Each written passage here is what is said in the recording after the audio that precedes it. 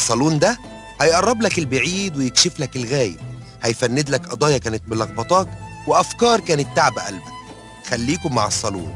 واوعدكم هتندهشوا واحد من أهم الأحاديث اللي موجودة في صحيح مسلم. اسمع بقى الحديث ده الله يرضى عليك وركز معايا عشان الحديث ده كتير جدا بقى من آه، فقهاء التقليد ها ومن الدواعش ومن أصحاب الفكر الجامد. يعني إيه لما بيجي الحديث ده بيقعدوا إيه يلفقوا في تفسيره. شوف ال- الحديث ده في صحيح مسلم عن أنس رضي الله عنه أن رسول الله صلى الله عليه وسلم مر بقوم يلقحون النحل. يعني مشي لقى الناس طالعة فوق النخلة بتجيب النحل بتلقحه بإيديها. فقال لهم إيه؟ لو لم تفعلوا لصلح. يعني لو حتى ما عملتوش كده هيتلقح لوحده. قال فخرج شيصا يعني خرج تمر رديء. مش التمر اللي متعود عليه أهل هذا البلد أهل المدينة. فمر عليهم بعد كده النبي عليه الصلاة والسلام وسألهم ما لنخلكم يعني النخل بتاعكم ماله؟ فيه إيه؟ اللي حصل له؟ فراحوا مفكروا باللي قالوا. قالوا له يا رسول الله حضرتك قلت كذا وكذا. قال بعدها بقى بعد ما حزن على ما جرى على النخل قال أنتم أعلم بأمور دنياكم.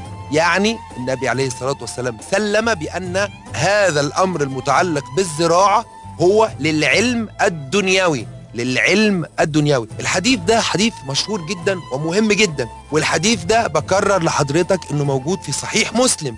والحديث ده أيضا بيدل على رقي النبي صلى الله عليه وسلم وادراكه لما له في الدنيا ودوره في تعليم الأمة الأمور التي يتلقاها وحيا من السماء ثم ما تركه لهذه الأمة من أن تبدع فيه من أمور الدنيا. تيجي بقى أنت لما تقول تقابل بقى واحد من إياهم اللي أنت عارفهم دول.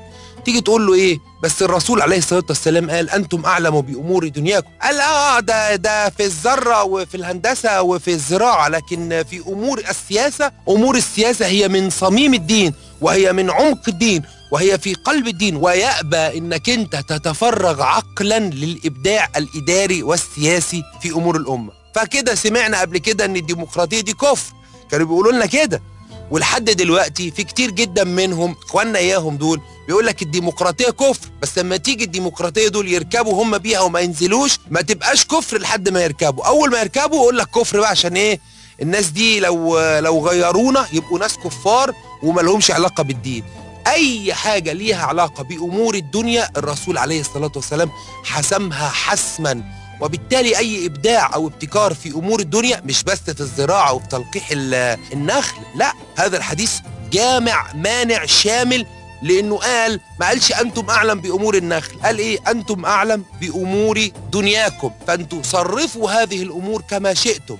إيه بقى النهي اللي منصوص عليه في القرآن وطاعة النبي المنصوص عليها في القرآن؟ طاعته فيما يتعلق بالعبادات وبالسلوك الذي أتاه وبالأوامر الواضحة.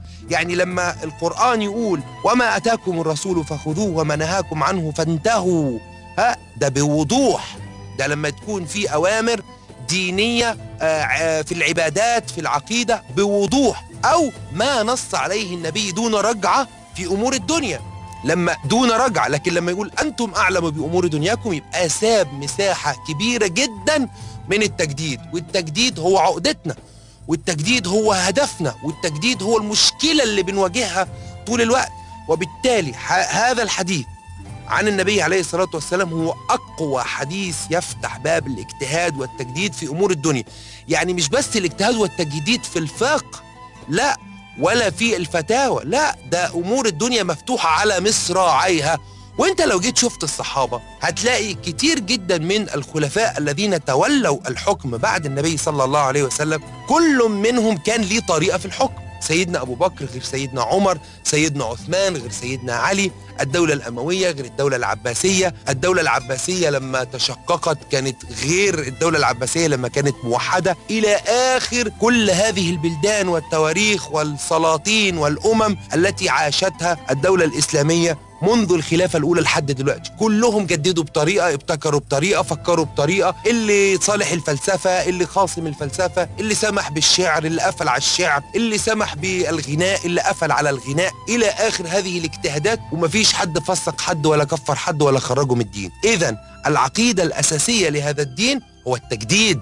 إذا كان الإسلام صالح لكل زمان ومكان فالتجديد أساس لكي يناسب كل عصر. وأمور الدنيا حتى خارج هذا الفكر تماما. هي براح كبير جدا للمسلمين يفكروا في إدارة شؤونهم زي ما هم عايزين. لأنه طول ما مصلحة المسلمين بتتحقق مصلحة الإسلام بتتحقق. افتكر الحديث في مسلم عن أنس رضي